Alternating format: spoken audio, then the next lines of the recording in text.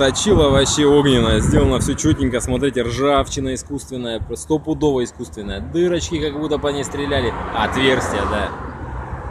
Тачка просто бомбезная, вообще класс. Кровища, все дела.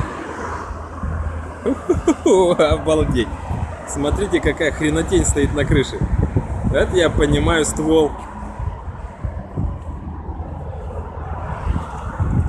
Смотрим в салон, что мы видим. Сделано все из цепей.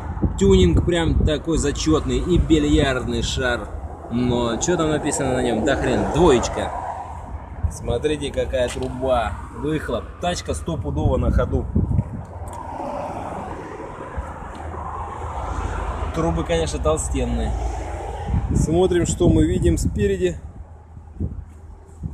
А спереди мы наблюдаем офигенный нагнетатель. И движок у этой штуки стопудово не родной. Игрушка для взрослых. Да, красава вообще. Тот, кто сделал это ведро, ну, блин, оно сделано в стиле ведра, вложил, я думаю, денег немало. Движок там вряд ли же, ну, хотя, черт знает, какой там движок. Но сделано классно. Вложена душа и, и все вложено. Давайте обойдем, поглядим. Вам и двушечка. Морда ряха такая. В противогазе. Умбрелла.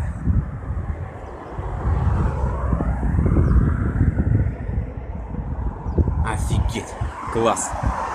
Я очень рад, что я нашел бомбезный авто. Всем, кому понравился мой краткий обзорчик на крутую тачку, обязательно поставьте лайк, оставьте комментарий, что вы думаете о данном крутом ведре. Всем спасибо, пока.